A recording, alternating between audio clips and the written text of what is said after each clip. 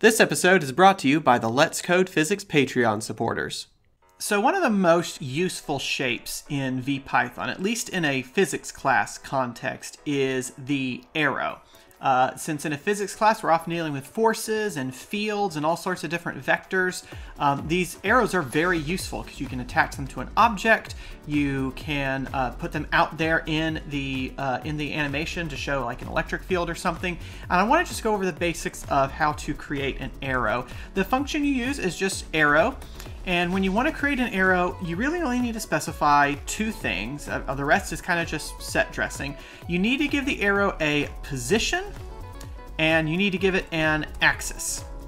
All right. The position is the location where the arrow starts. So let's suppose I want my arrow to start in the upper left-hand corner. I could give a position of vector negative 1 for the left, 1 for top, and 0 uh, for the z-axis.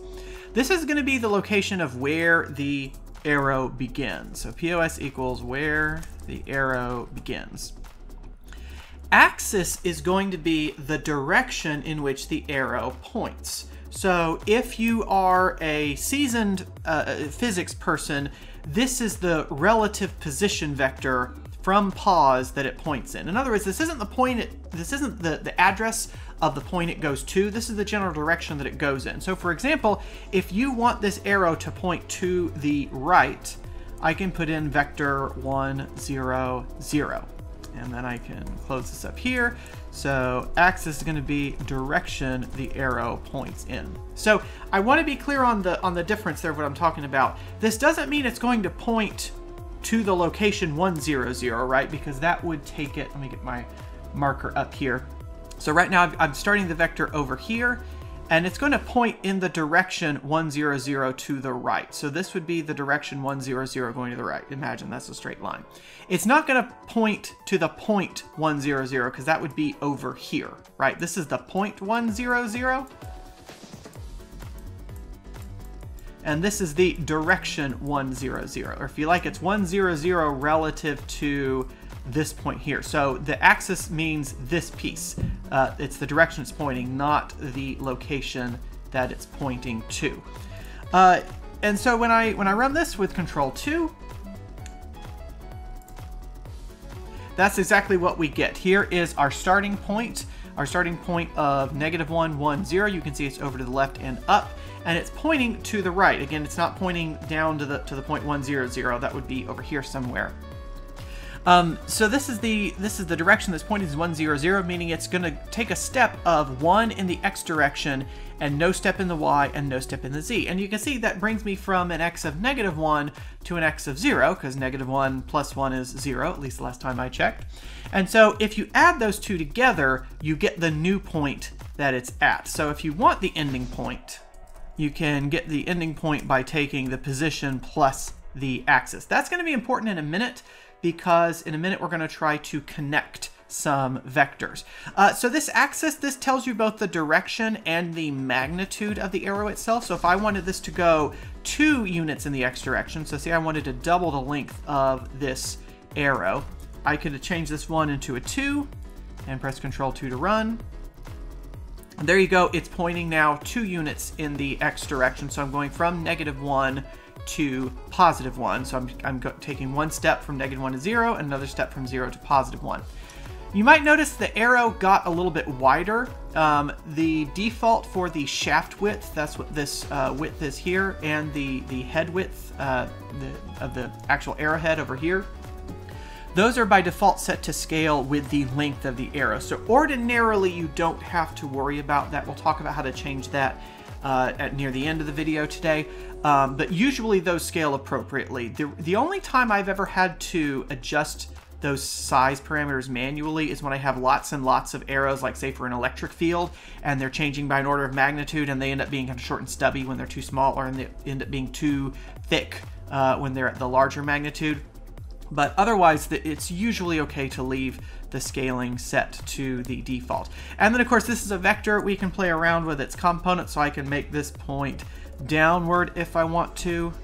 There we go with two units in the x direction and negative one unit in the y direction. This is also a great way to help uh, newer students visualize slope. Uh, if you want to help students, you know, learn to think about uh, in terms of, of change in y or change in x. And of course, we can go in three dimensions. I can make this a positive, uh, I don't know, let's pick something fun. Positive 2 fifths, how about? Control 2. And there I go, there's my vector pointing a little bit in the z direction as well. Um, of course, as with any object in GlowScript or in VPython, I can give this arrow a name. We might as well call it A1 for our first arrow. And then when I want to access information about it, I can just say, you know, print A1.pos or print A1.axis. Or for our ending point here, I can tell it to print A1.pos plus A1.axis. Right, so it follows all the same rules we've seen for spheres and boxes and cones and everything. I can I can print any of the properties that the that the arrow has. And like I said earlier, this process of adding position to axis is going to be important because let's suppose I wanted to connect a bunch of arrows together into a loop. So let's say suppose I wanted to take an A2 as an arrow, and let's suppose I want this arrow to start where my A1 ends right? So maybe I want to connect my connect some vectors head to tail, for example. Maybe I'm doing vector addition. Um, that's pretty easy to do. I can just say a1.pos plus a1.axis. So that's going to guarantee that uh, this vector starts where a1 ends, and then I can give this an axis. Let's suppose I want this one just point, let's say upward uh, 1, 0, 0 close parentheses. Oh, whoops, sorry, up is not 1, 0, 0, up is 0, 1, 0. Control 2. There we go. So now I've, you notice I've got this vector now starting at the, I've got its uh, uh, beginning point starting at the ending point of the previous vector. And that's really handy because maybe I want to go back and change this vector. Maybe I want it to point um, upward instead of downward. I can just change this. And now because I've got A2 referencing A1's properties, that change automatically propagates forward to the A1 dot axis here. And you can see that this arrow now moves up. It's, it's always going to be defined relative to A1 here, which is pretty cool. And then I can keep doing that, right? So I can add in an A3 uh, of an arrow, position equals, I just have to repeat this little uh, recipe here, copy and paste, and change the A1s to A2s. Uh, axis, let's make this one point to the left, and hopefully I get my directions correct this time. Control 2 to run. There you go. That one now connects to the left. Uh, let's get one that goes, uh, let's get one that goes along the z-axis. Copy and paste. So I might have an A4. Change these to A3, A3. Uh, let's change this to a zero. And you know what, let's have this go backwards, negative two fifths. Actually, let's do this one as negative A1 dot axis dot z. That way, whatever I change this to, this will come back to the same direction. So if you're doing an advanced class with, uh, with contour integrals, this would also be a cool way to help students learn to visualize the steps in a, in a, in a contour integral or a line integral or a path integral, uh, whichever you prefer to call them. And now let's suppose I wanted to close the loop. Let's suppose I wanted to go from this point to this point over here, right? So I want my A last to be arrow position, it needs to start at a4.pos, right? I don't get to change that. But I have to figure out what axis I would need to go from here to here. Well, there's a pretty easy uh, uh, recipe for doing that. If you want to go from a starting point to an ending point, you just do the ending point minus the starting point. Right, this is the definition of a relative position vector. If you want to go from a starting point to an ending point, you just take end minus start, and that's going to be where you need to go. So I want my ending point to be a one dot pos, and I want my starting point to be this starting point, so that's going to be a four dot pos. Uh, let's color code this one just to celebrate our victory. Let's make it blue.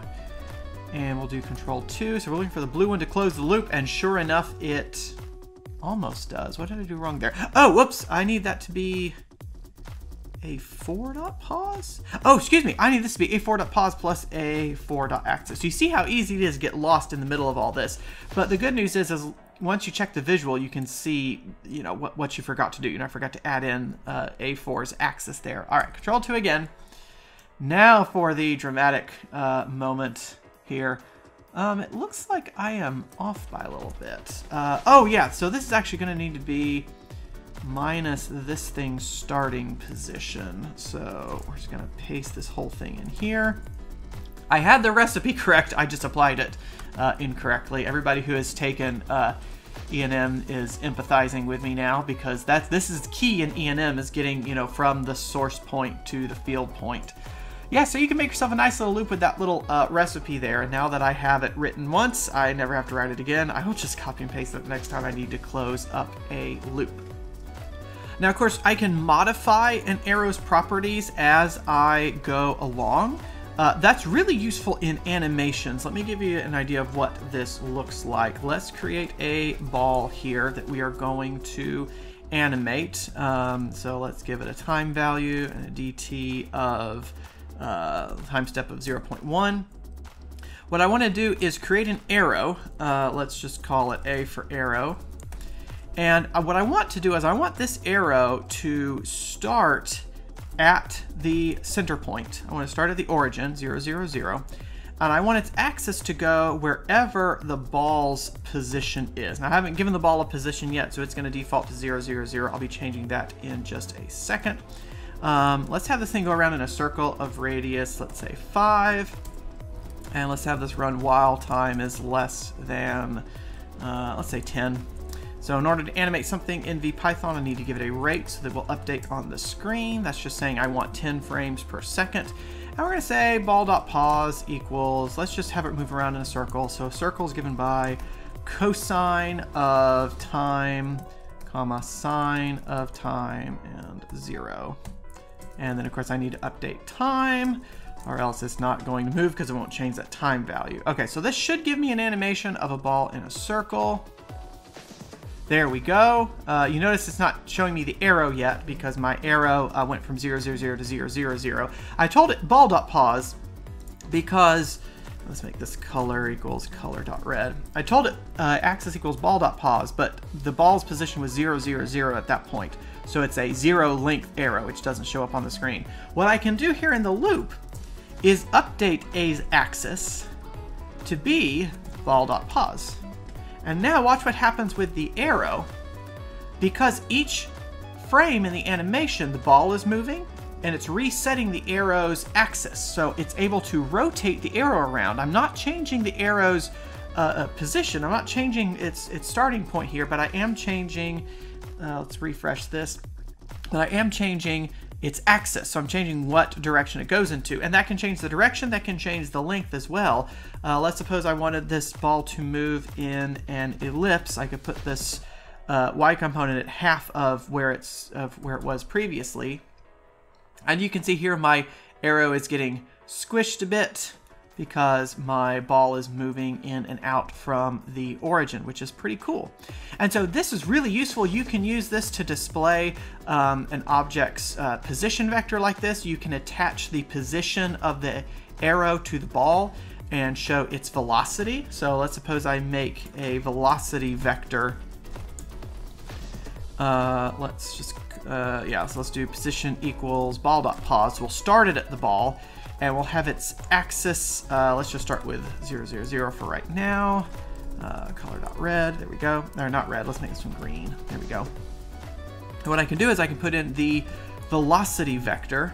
Um, I won't bore you with the um, math on that, but its axis is now going to be r times vector. Uh, actually, I don't need parentheses there too. But basically, you take a time derivative of it, cosine is going to become negative sine of time. This is going to become 1 half cosine of time, 0. Close that up. If, if derivative business doesn't make any sense to you, just, just ignore that. It's just, trust me, this will turn out to be the velocity. Um, and then I also need to update vel.pos to be ball.pos.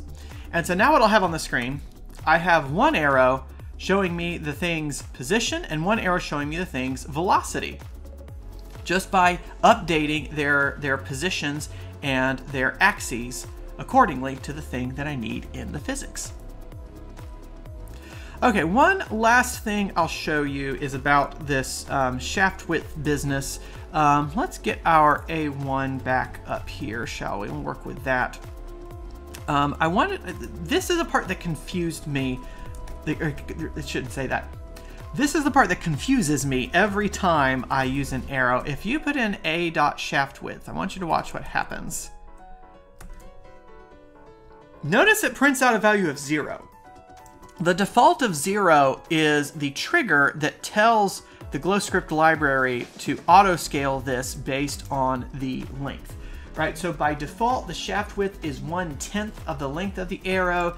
The head width is two times the shaft width and the head length is three times the shaft width. So when you have zero in here, all of that automatically scales.